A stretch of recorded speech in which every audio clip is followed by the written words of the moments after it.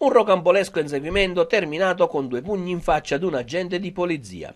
È l'episodio di cui si è reso protagonista un pregiudicato ragusano di 55 anni, Francesco Naselli, arrestato dalla polizia per violenza, minacce e resistenza a pubblico ufficiale, porto senza giustificato motivo di coltello, oltraggio a pubblico ufficiale e rifiuto sia dell'alcol test che degli accertamenti sanitari.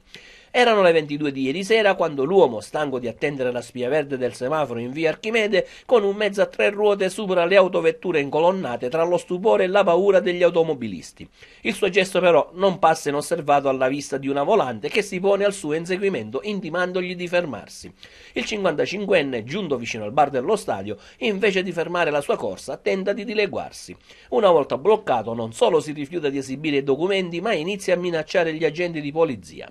Visibilmente ubriaco, Naselli si oppone sia alla prova dell'alcol test sia agli accertamenti sanitari per verificare se avesse assunto meno sostanze stupefacenti. La situazione degenera e dalle minacce agli agenti l'uomo passa ai fatti scagliandosi contro uno di loro fino a sferrargli due pugni in faccia. È stato necessario l'intervento di un'altra volante per fermare l'uomo ormai fuori controllo.